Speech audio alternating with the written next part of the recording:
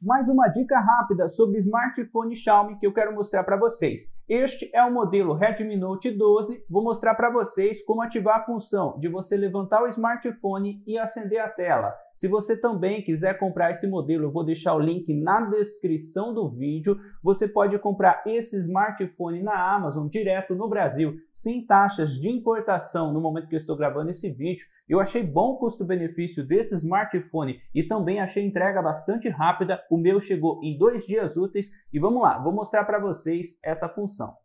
Vamos lá. Este é o smartphone Redmi Note 12. Vou mostrar para vocês como levantar o smartphone e acender a tela. Você vem aqui em configurações, você vem nessa opção, tela sempre ativa e tela de bloqueio, e você ativa essa opção, levantar para ligar a tela. Vou bloquear o smartphone, e pode ver, vou levantar o smartphone e ele já ligou a tela bastante rápido. Vamos lá mais uma vez. Vou levantar o smartphone e ele já ligou a tela. Está funcionando muito bem.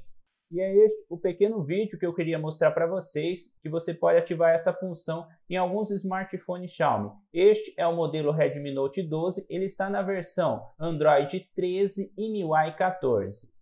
E aí, você já sabia dessa dica? Participe aqui no canal Mozuka e veja mais dicas de smartphone Xiaomi, entre outros modelos. Se você ainda não deixou, não esqueça do seu like, inscreva-se e também ative as notificações. Se você quiser comprar esse modelo, vou deixar o link na descrição. E se você tem alguma dica, sugestão de vídeo, deixe nos comentários. Muito obrigado e até o próximo vídeo.